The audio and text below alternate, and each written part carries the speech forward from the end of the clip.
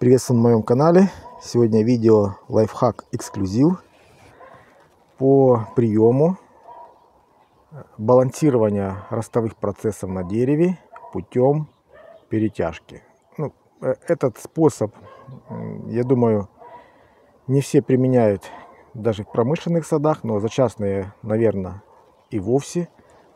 Это, наверное, будет все-таки видео номер один в плане демонстрации того, что этот прием очень зря не используется как в промышленных, так и в частных садах для э, сбалансировки роста. Итак, показываю поближе. Это слива. Сейчас покажу ее. Лидерная.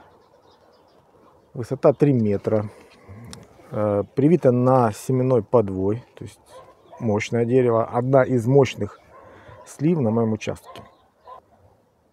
Весной я решил поэкспериментировать и использовать этот прием э, перетяжки, не кольцевания. В чем разница? Это на штамбе, я сейчас покажу, расскажу подробнее, на штамбе в промышленных садах, там, где хотят достигнуть добиться высоких результатов плодоношения, используют этот прием. В основном используют этот прием на среднерослых э, подвоях, полукарликах. В частности, это 106 подвой. Ну, в каждом регионе может быть свой, но я просто говорю, что, допустим, в частности, в Канаде э, фермеры достигли 110 тонн с гектара по принципу введения системы веретено с элементами э, кольцевания.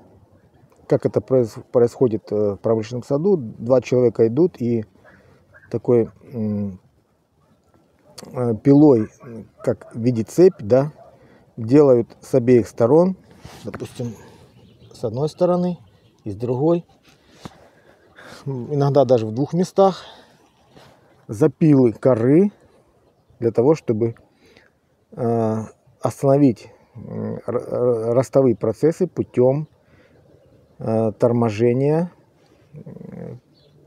проникновения питательных веществ, да, и дерево, естественно, что оно приостанавливается в росте. Я этот элемент э, не использовал, а пошел другим путем.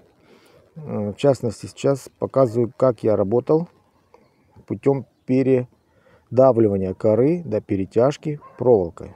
Это творческий процесс, поэтому можно использовать кому как нравится. Ну, в частности, я использовал проволоку. Проволока где-то, уж не знаю, тут в диаметре, ну, показалась мне тонковатая, потому что рвалась.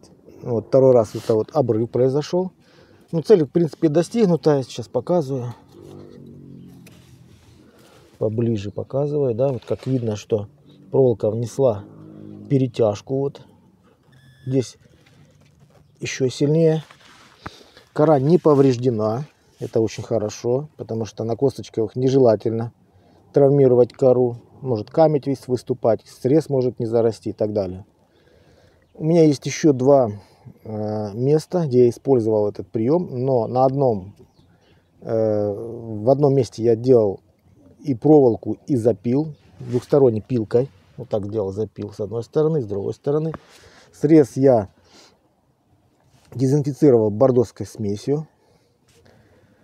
И э, надеюсь э, посмотреть результат, так как это у моих клиентов, на яблони и на груши Э, на груши я делал, запил и ставил такую проволоку, а на яблоне просто сделал кольца вот такие вот в виде проволоки. Ну, поделюсь результатом, посмотрим. Но я делюсь пока на своем участке. В следующем сезоне у меня предстоит еще поставить такие кольца на грушу и на яблоню. То есть теперь делюсь результатом. Итак, еще раз скажу, что кольцевание увеличивает урожайность в два раза на промышленных садах с элементами кольцевания сад выходит на плодоношение 110 тонн с гектара на 106 подвое э, система веретено. А так в среднем где-то 60 тонн с гектара. То есть 100, 110 и 60. То есть разница есть за счет того, что используется кольцевание. Итак, что я имею в результате? В прошлом сезоне эта слива обрезалась летом два раза. То есть я делал два раза пинцировку. В этом сезоне пинцировка выполнялась только один раз. И с отличным результатом. Вот в этом месте была пинцировка, обрезка, да, летняя. Вот в этом месте была пинцировка. И в этом месте была пинцировка. И как видно, ну, есть чуть-чуть вот вверху там, чуть-чуть э, э, ростовые процессы, ну, незначительные. Для сливы это вообще мелочи жизни, потому что слива сама по себе э, дает очень длинные приросты. Поэтому, если сравнивать э, с ростовыми процессами обычной сливы, то здесь в идеальном порядке сработал этот прием. Как видно, на однолетнем приросте, попробую сфокусировать поближе, здесь смешанные почки, вот по три почки. То есть даже на однолетнем приросте на сливе заложились плодовые почки. Здесь вот одна центральная почка, две боковые. Здесь присутствует на однолетнем приросте. Сейчас покажу, попробую еще раз поближе.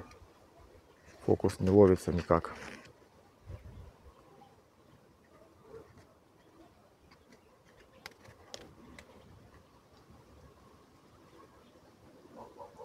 В общем, фокус никак не могу поймать я. В общем, три почки. Три почки, конечные тоже почки. Ну, не знаю, у меня не ловит фокус. Ну, и что я имею в виду? Здесь везде идет закладка плодовой почки. Я в следующем году ожидаю здесь урожай, который будет уже балансом для сдерживания роста. О балансе я неоднократно говорил, что это одна из составляющих ведения дерево, уход за деревом, да. Этот прием позволяет достижение баланса, получать хорошие результаты и не вызывать буйный рост. Ну что, в общем, результатом я доволен. Рабочая схема, пожалуйста, пользуйтесь, применяйте на своих участках для того, чтобы э, балансировать рост и плодоношение, перевести дерево из процессов ростовых процессы плодоношения. Э, поделюсь уже, если буду своих клиентов, поделюсь, какие там результаты. Но на сливе я вижу стопроцентный рабочий результат, закладкой плодовых почек, с э, будущим урожаем в следующем году. Ну, сделаю сейчас коррекцию на сливе, и, в принципе, сливка будет в порядке. Я еще один проводник, один сорт добавляю к ней. Но, тем не менее, вот эта рабочая схема. Это работает 100%. Работает, как я сказал, промышленных садах, повышая урожай практически в два раза. Пожалуйста, пользуйтесь, применяйте в своем саду для э, балансировки дерева в пользу плодоношения.